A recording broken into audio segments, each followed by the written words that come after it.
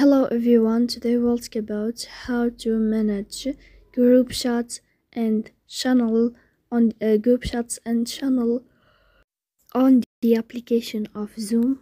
You will go to Zoom app as you see and you can click.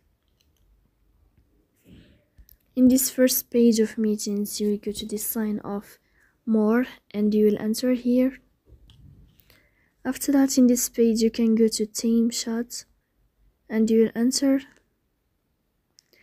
after that in this list you can go to this window of manage group chats and channel and you can click. And here you can manage your group chats and channels here you can search about it in this page. So please don't forget to support us by like and uh, subscribe. See you next time in another video. And uh, thank you for your attention. And you are watching